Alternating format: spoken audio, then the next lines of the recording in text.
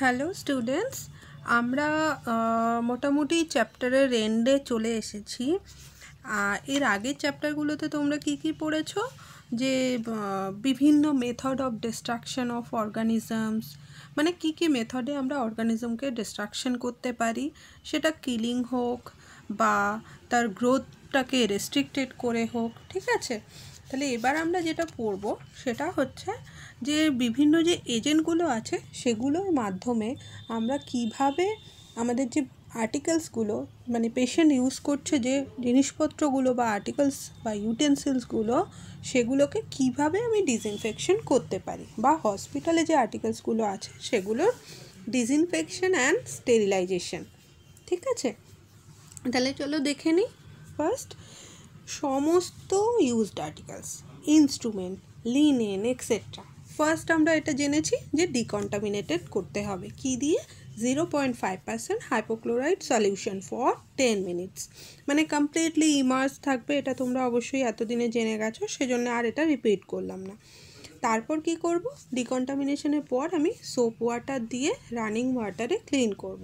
তারপর সেটাকে ড্রাই করব এবং according to properties of the article আমি ডিসইনফেকশন বা স্টেরিলাইজেশনে যাব। ঠিক আছে? যাব মানে সেটাকে স্টেরিলাইজেশন বা ডিসইনফেকশনে পাঠাবো।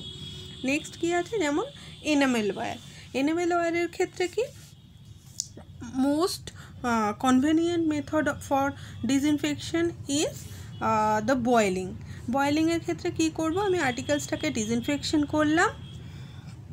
ডিসইনফেকশন করলাম কি করে? যেমন আমি five percent zero point five percent hypochlorite solution দিয়ে টেন মিনিট ইমার্স করে রাখলাম। তারপর সেটাকে ড্রাই ক্লিন করলাম সোপ অ্যান্ড ওয়াটার দিয়ে রানিং ওয়াটারে ড্রাই করলাম দেন বয়েলে দিয়ে দিলাম। এবার তাহলে এখানে দেখে নিই কী বলেছে? Wash the articles thoroughly with soap and water using friction which which has mechanical effect মানে সোপ অ্যান্ড ওয়াটার আমরা পড়েছিলাম প্রপার্টিস অফ সোপে তাহলে সেই সোপ অ্যান্ড ওয়াটারে যে ফ্রিকশনটা হবে, তাতে কী হবে? আর্টিকেলসের যদি কোনো অয়েলি সাবস্টেন্স থাকে, সেটা কিন্তু ওয়াশ আউট হয়ে যাবে। নেক্সট ফুললি ওয়াটারে ইনভার্টেড করে দিতে হবে। মানে ধরো একটা বোল বা বাটি, যেটাকে আমরা তো হসপিটালে বাটি বলি না, আমার মেডিকেল টার্মসে সেগুলো হবে বোল সে বোলগুলো কমপ্লিটলি আমাকে ডুবিয়ে দিতে হবে জলের ভেতর, যেটাকে লেখো, লেখা আছে ইমার্স ফুললি ঠিক আছে? আমি কমপ্লিটলি জলের ভেতর ডুবিয়ে দেব মানে বয়লারে অবশ্যই। তারপর বয়লারের লিডটা আটকে দেব। লিড মানে ঢাকনা। দিয়ে বয়েলিং পয়েন্ট থেকে কুড়ি মিনিট আমি ফুটতে দেব। মানে বয়েল করব। বা আমি অটোক্লেভের জন্য পাঠিয়ে দেবো। ঠিক আছে? নেক্সট আসছি রাবার গুডস তাহলে রাবার গুডসের ক্ষেত্রে যেমন এক্সাম্পল হিসেবে বলতে পারি ক্যাথেটার সে সিম্পল রাবার ক্যাথেটার হতে পারে। তাহলে সেক্ষেত্রে আগে আমি ডিকন্টামিনেশন করলাম, যেমন করি, করে সোপ অ্যান্ড রানিং ওয়াটারে ওয়াশ করব এবং খেয়াল করব যে ক্যাথেটারের আই থাকে। সেটা তোমরা যখন প্র্যাকটিক্যাল দেখাবো বুঝতে পারবে, সেই আইগুলো মানে ওপেনিংগুলো যেন রানিং ওয়াটারে একদম পোর্টটা ক্লিন থাকে। না হলে আমি একটা পাশ দিয়ে যদি জল দিই, তাহলে আরেকটা পাশ দিয়ে আমার বেরিয়ে যাওয়া উচিত, সেটা যেন ক্লিয়ার হয়, ঠিক আছে? ওখানে যদি সয়েল বা কিছু আটকে থাকে, তাহলে তো আমি সেটাকে ক্লিন করা হলো না। ওখানে আমার ইনফেকশনটা রয়ে গেল। এবার আমি সেটাকে ওয়াশ করার পর আমি বয়েলিংয়ে দেব।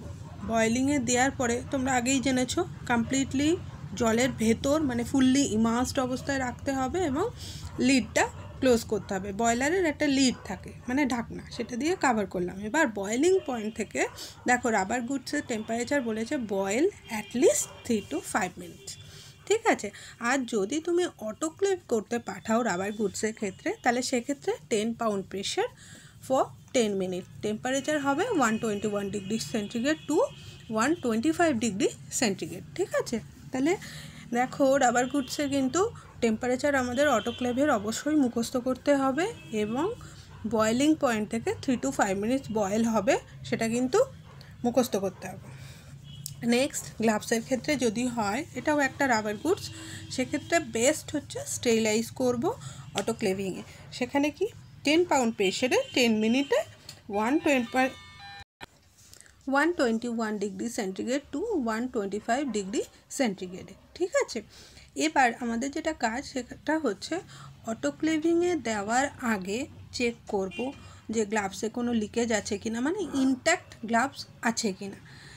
আর একটা ফ্রেঞ্চ চক তোমাদের আমি বলেছিলাম একটা পাউডার আছে, যেটা কি না গ্লাভসের ভেতরে এবং গ্লাভসটাকে যে কাভারিংয়ে দেওয়া হচ্ছে, সেটাতে কিন্তু হালকা করে দেওয়া থাকে যাতে টেম্পারেচারে গ্লাভসগুলো কখনো জড়িয়ে না যায় বা জুড়ে না যায়, ঠিক আছে? সেই জন্যই গ্লাভসের ভেতরে এই পাউডারিংটা করা হয়। তার ফলে আমাদের যখন আমরা পরবো গ্লাভসটা ইউজ করব, তখন কিন্তু পরতে হেল্প হয়, ঠিক আছে? Next blunt instrument blunt instrument মানে হচ্ছে ভোতা ইনস্ট্রুমেন্ট মানে যেগুলো শার্প নয়, ঠিক আছে? তাহলে সেক্ষেত্রেও কি? সেম ইউজড আর্টিকেলসগুলোকে আগে ডিসইনফেকশন করব পয়েন্ট ফাইভ পার্সেন্ট হাইপোক্লোরাইড সলিউশনে দশ মিনিট। নেক্সট কী করব? স্ক্রাব করব। সেটা সোপ অ্যান্ড ওয়াটার দিয়ে বা এখানে ভিম পাউডার বলা হয়েছে বা লিকুইড সোপ হোক, আমরা দিয়ে আমরা বা ওই গুঁড়ো যে সার্ফ হয় সেগুলো দিয়েও আমরা ক্লিন করতে পারি। নেক্সট, ওয়াশ করব রানিং ওয়াটারে এবং বয়েল করব বয়েলিং পয়েন্ট থেকে কুড়ি থেকে তিরিশ মিনিট। এছাড়া যদি আমি ব্লান্ট ইনস্ট্রুমেন্টকে অটোক্লেভ করতে পাঠাই, সেক্ষেত্রে টেম্পারেচার হবে fifteen to twenty pound pressure for twenty to thirty minutes. আর এক্ষেত্রে টেম্পারেচার হবে one twenty one degree centigrade বা one twenty five degree centigrade ঠিক আছে? তোমাদের কিন্তু টেম্পারেচারগুলো অবশ্যই টেম্পারেচার পাউন্ড প্রেশার অবশ্যই মুখস্থ করতে হবে। শার্প ইনস্ট্রুমেন্ট শার্প ইনস্ট্রুমেন্ট বলতে তোমরা জানো সিজার নেডেল নেক্সট আরও যে ইনস্ট্রুমেন্টগুলো আছে সেগুলোকে বলা হচ্ছে। সেক্ষেত্রে কী করতে হবে? ফার্স্ট ডিকন্টামিনেশন এটা আমাদের ভুললে চলবে না দেন স্ক্রাব করব, ঠিক আছে? যাতে কোনো অয়েলি সাবস্টেন্স বা স্টিকি সাবস্টেন্স থাকলে সেটা যাতে সরে যায়। নেক্সট ড্রাই করব। কেন? আমি যদি কোনো সলিউশনে দিয়ে তাকে ডিসইনফেকশন করতে চাই, তাহলে কি স্ট্রেংথটা নষ্ট হয়ে যাবে। আমার যে ডিসইনফেকশনের ওর প্রপার্টিস ছিল, সেটা কিন্তু লাইট হয়ে যাবে। সেই তাহলে সেক্ষেত্রে আমি টু পার্সেন্ট গ্লুটারালডিহাইড সলিউশনে টোয়েন্টি মিনিট ধরে ডিসইনফেকশন যদি টোয়েন্টি মিনিট আমি ইমার্জ করে রাখি, তাহলে ডিসইনফেকশন হবে। আর যদি টেন আওয়ার্স রেখে দিই ইমার্জ করে, তাহলে আমার স্টেরিলাইজেশন হবে। এটা আমরা ইমার্জেন্সির ক্ষেত্রে অবশ্যই ইউজ করতে পারি। এছাড়া কি? ধরো, সেই টু পার্সেন্ট গ্লুটারালডিহাইড সলিউশানে আমার শার্প ইনস্ট্রুমেন্টটা আছে। এবার কি করব?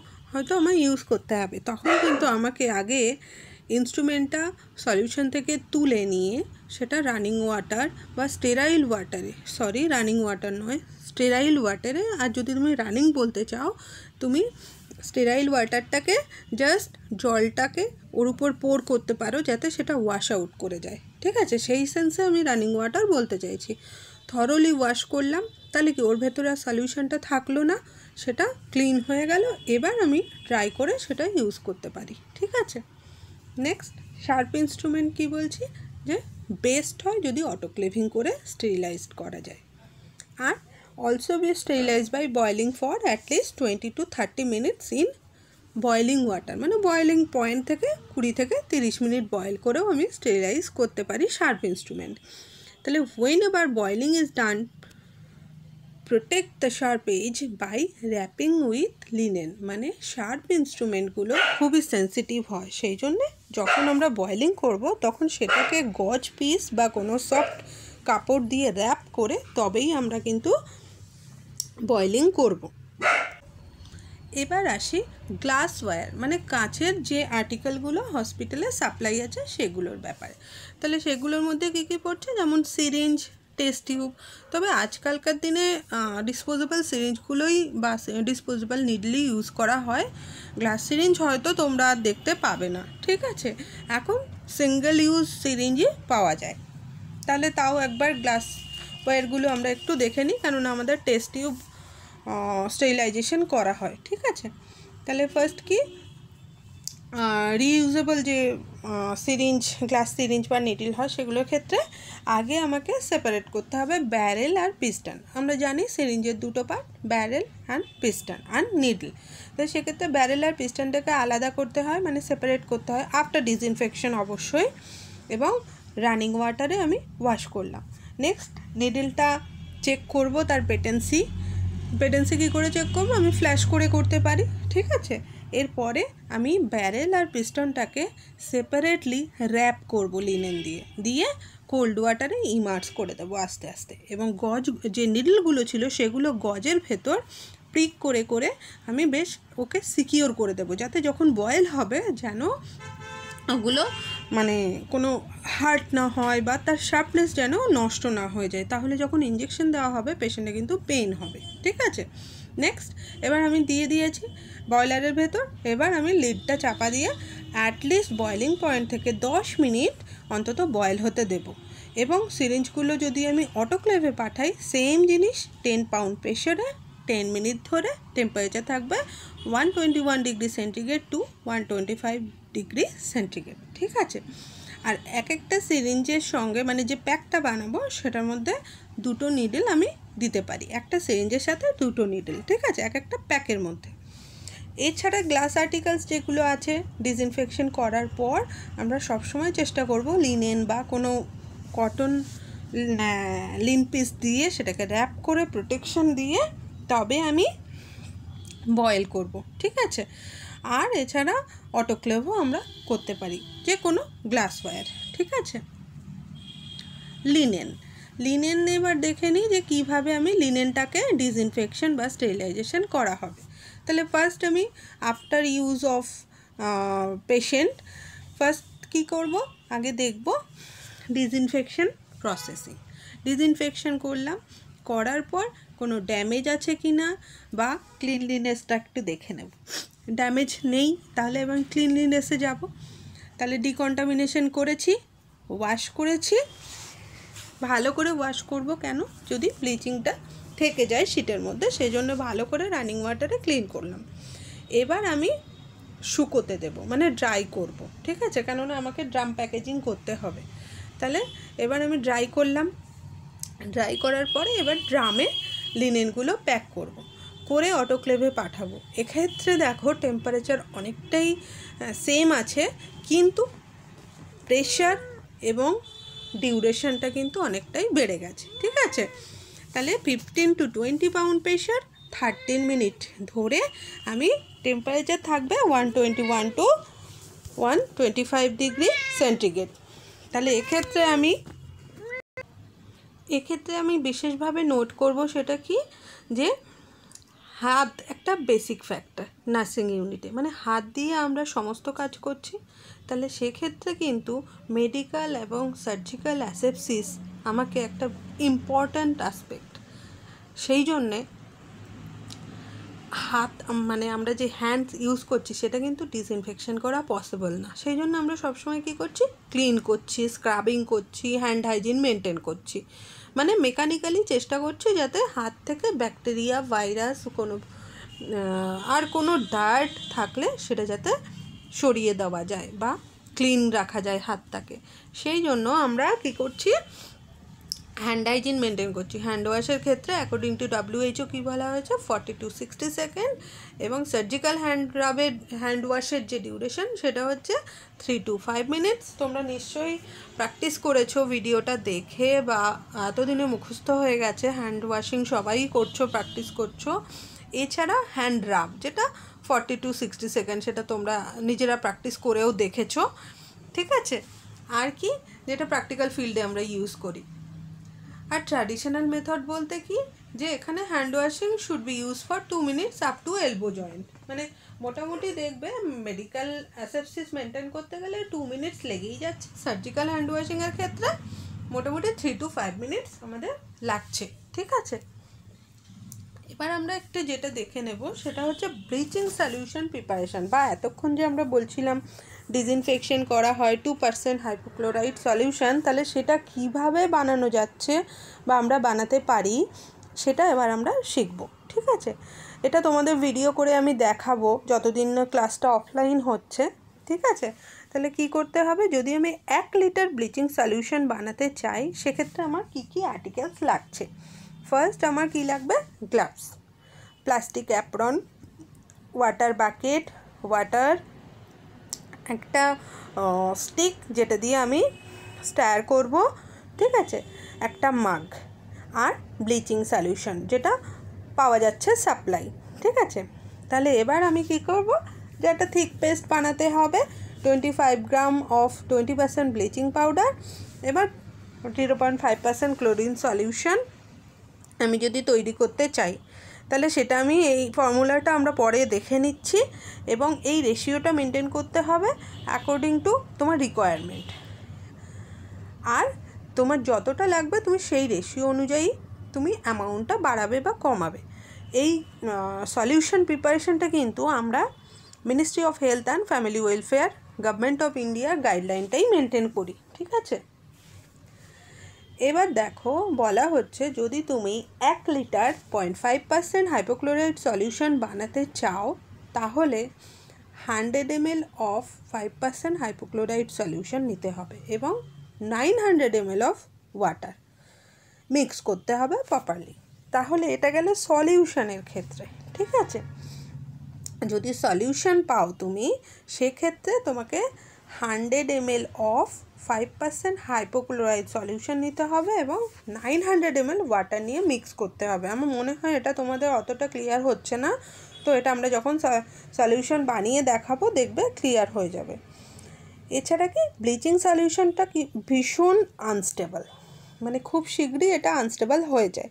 সেই জন্য দেখবে আমরা ব্লিচিং সলিউশন বানানোর সাথে সাথে সেটাকে লিড দিই মানে কাভার করি এবং ডেট অ্যান্ড টাইম লিখে রাখি। যতক্ষণ এটা ক্লিয়ার থাকবে বা ঘোলাটে হয়ে যাবে না বা নোংরা হবে না, ততক্ষণ আমরা এটা ইউজ করতে পারব। এছাড়া ক্লোরিন সলিউশন ভীষণ করোসিভ তোমরা জানো কোনো একটা শিট বা চাদর বা ড্রেস নিশ্চয়ই তোমরা এতদিনেও কাচাকুচি করেছ। দেখবে যদি ডিরেক্টলি সলিউশনটা ড্রেসে দিয়ে থাকো, সঙ্গে সঙ্গে সেই জায়গাটা কালার কিন্তু উঠে গেছে। তার মানে বুঝতে পারছ কতটা করোসিভ হতে পারে। সেই জন্য আর্টিকেলসকে সবসময় থরলি ওয়াশ আউট করতে হয় ওই সলিউশন থেকে তোলার পরে, ঠিক আছে? আর চেষ্টা করা হয় দশ মিনিটের মধ্যে মানে দশ মিনিট হলেই যেন আমি আর্টিকেলসটা ডিসইনফেকশনের পরে তুলে নিতে পারি। বেশিক্ষণ রাখলেই আর্টিকেলসটা নষ্ট হয়ে যেতে পারে, ঠিক আছে?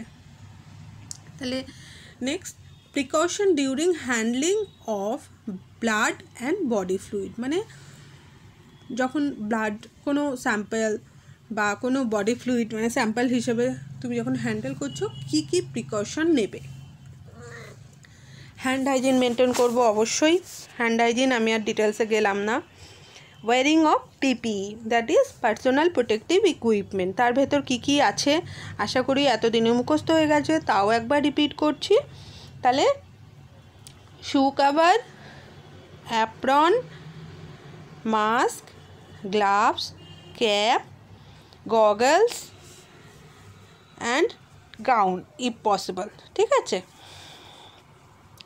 ম্যানেজমেন্ট অফ স্পিলস মানে blood body fluid chemicals and mercury যদি থাকে, সেগুলো পড়ে গেলে মানে স্পিল হওয়া মানে পড়ে যাওয়া সাডেনলি অ্যাক্সিডেন্টালি পড়ে যেতে পারে, পড়ে গেলে তার কি ম্যানেজমেন্ট সেই ম্যানেজমেন্টটা next handling of laboratory specimen তাহলে এগুলো যেমন করলাম, তেমনি যখন ল্যাবরেটরি স্পেসিমেন ল্যাবরেটরিতে কোনো স্যাম্পল যাবে, কীভাবে হ্যান্ডেল করব? তাহলে অবশ্যই গ্লাভস পরতে হবে, যে হ্যান্ডেল করবে বা কালেকশানের সময় অবশ্যই গ্লাভস পরছে। এছাড়া যদি হেলথ কেয়ার পার্সোনাল বা যে ক্যারি করছে, তার যদি কোনো ওপেন উন থাকে, সেটা অবশ্যই কাভার থাকবে এবং ড্রেসিং করা থাকবে। ড্রেসিংটা যেন অবশ্যই ওয়াটারপ্রুফ হয়। ঠিক আছে? না হলে তো যদি কখনো অ্যাক্সিডেন্টালি ফ্লুইডটা লেগে যায়, তাহলে কন্টামিনেশনের চান্স আছে বা ক্রস ইনফেকশন বা ইনফেকশনটা একটা স্যাম্পল থেকে আরেকটা হেলথ কেয়ার প্রফেশনালসের হতে পারে, সেই কারণে। ওকে স্পেসিমেন্টটা সবসময় প্রোটেক্টেড প্লেসে থাকবে বা একটা কন্টেনারে থাকবে এবং সবসময় লিড দেওয়া থাকবে যাতে লিকেজ না হয় ট্রান্সপোর্টের সময়। আর কি? এবং কেয়ারফুলি যে স্পেসিমেন্টটা আমি ইউজ হয়ে গেছে, তখন কিন্তু যেমন ধরো কোথায় যাচ্ছে, এগুলো প্যাথোলজি বায়োকেমিস্ট্রি বা কোনো ফরেন্সিক ডিপার্টমেন্ট বা কালেকশন করা হয়েছিল তার কালার ক্যারেক্টারিস্টিক দেখার জন্য, তাহলে যখন ইউজ হয়ে গেছে তখন কেয়ারফুলি তাকে ডিসকার্ড করতে হবে বা ডিসপোজ করতে হবে, ঠিক আছে?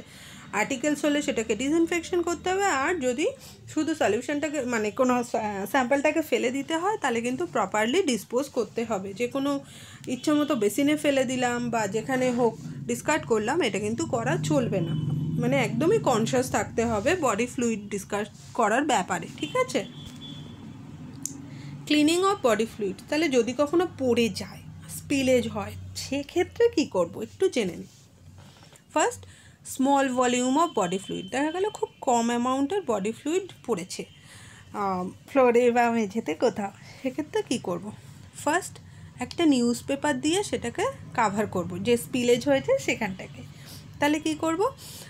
নিউজ পেপার দিয়ে যদি দিই ও সেই বডি ফ্লুইডটাকে সোক করে নেবে বা কোনো শুকনো মাটি দিয়েও আমরা এটাকে কাভার করতে পারি। তো মাটি যদি না পাই তাহলে আমি শুকনো পেপার দিতে পারি। Next pour phenyl or freshly prepared hypochlorite solution তাহলে কি ফিনাইল যদি না থাকে তাহলে ফ্রেশলি যে হাইপোক্লোরাইড সলিউশন বানানো আমরা শিখেছি, সেটা থেকে ওয়ান পার্সেন্ট ক্লোরিন আমি ওর মধ্যে দিতে পারি এবং থার্টি মিনিট ওয়েট করব। কেন? জায়গাটা ডিসইনফেকশন হওয়ার জন্য। নেক্সট গ্লাভস পরবো এবং চেষ্টা করব প্লাস্টিক কোনো স্কুপ থাকলে সেটা দিয়ে স্কুপ করে নিতে মানে চামচ দিয়ে তুলে নিতে। যদি একান্ত না হয় তাহলে আরও যদি কোনো পিচবোর্ড পেপার কাপবোর্ড থাকে সেগুলো দিয়ে একটু উঠিয়ে নিতে, জায়গাটা ক্লিন করতে। নেক্সট ওই এরিয়াটা যেখানে স্পিলেজ হয়েছিল, সেই জায়গাটা এবার মপ করে নেবে কি দিয়ে? ফিনাইল বা হাইপোক্লোরাইড সলিউশন দিয়ে। নেক্সট এবার যদি লার্জ অ্যামাউন্ট বডি ফ্লুইড দেখা গেল স্পিলেজ হয়েছে, সেক্ষেত্রে কি করব? সেম গ্লাভস পরবো। এছাড়া অ্যাবজর্বেন্ট কটন এখানে পেপার একটা ছোট্ট জিনিস ছিল, এবার আমি দেব কটন বা গজ জাতীয় কোনো যদি কি বলব, ওটাকে সাবস্টেন্স যদি পাই সেটা। তাহলে কটন বা গজ জাতীয় কিছু দিয়ে আমি সেটার উপরে চাপা দিলাম বা কভার করলাম। করে সেটা যেই সোপ করে নিল ইনফেকশাস ওয়েস্টবিন যেটা ছিল সেটাতে আমি ডিসকার্ড করলাম এবং যতটা ম্যাক্সিমাম আমি সোক করিয়ে নিয়েছি, এবার আমি নিউজ পেপারটা কাভার করালাম বা শুকনো মাটি যেটাকে বলবে, যেটা অ্যাভেলেবেল হবে সেটা। এবার ফিনাইল দিলাম ফ্রেশলি প্রিপেয়ার্ড হাইপোক্লোরাইড সলিউশন দিয়ে আমি থার্টি মিনিট ওখানে রেখে দেবো। দেখার পর সিম্পল যেমন মপ করছিলাম ফিনাইল বা হাইপোক্লোরাইড সলিউশন দিয়ে, সেটা দিয়ে আবার ক্লিন করে নেব। ঠিক আছে? তাহলে এখানে মেনলি ডিফারেন্স ছিল যে ম্যাক্সিমামটাই ওখানে পেপার স্মল অ্যামাউন্টের ক্ষেত্রে পেপার কভার করে আমি অ্যাবজর্ব করার চেষ্টা করছিলাম। আর এখানে কটন দিচ্ছি। কটন বা কোনো গজ মানে আরেকটু মোটা ধরনের কিছু যাতে সোক করতে সুবিধা হয়। ঠিক আছে?